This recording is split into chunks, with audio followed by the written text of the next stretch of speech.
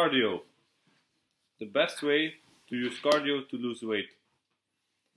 Of course, first of all, you have to train with weights, you have to train with resistance to lose weight.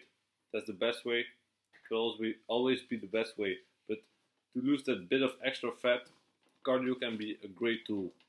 Of course, you have two types of cardio low intensity cardio and high intensity cardio. Low intensity cardio is the best way to go if you want to lose the maximum amount of body fat and keep on to the maximum amount of muscle. Because doing high intensity will drain your body way too much and you will also lose some muscle in the progress. What doesn't mean it isn't great to lose body fat as well. So, but low intensity cardio is definitely better to lose body fat.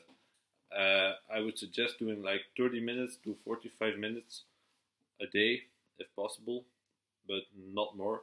And if you can reach your goals with 30 minutes of for, uh, 30 to 45 minutes a day, that's great. Just low intensity cardio, keeping your heart rate stable and not going too high, not being too exhausted, and that's a great way to try and lose body fat. But of course, the first priority is weightlifting, getting your diet in check, uh, using your calories to lose weight, so lowering your calories, sleeping enough, and if you if you're doing all of that, and that all of that is perfect, then you can add some low intensity cardio. Uh, like I said, that's the great way to lose body fat, and you will hold on to as much muscle as possible. But don't go running for like two hours or one hour and a half because your body is empty and it will be worse for your body than it will be good for your body because the less cardio you can do, the better. At least to lose body fat and hold on to muscle.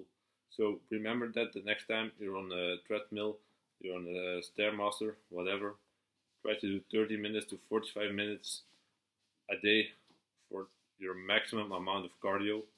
That's it.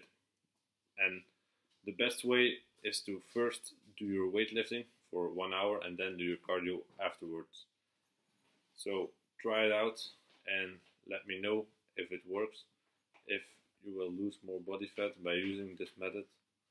And see you in the next video. Be sure to like and subscribe.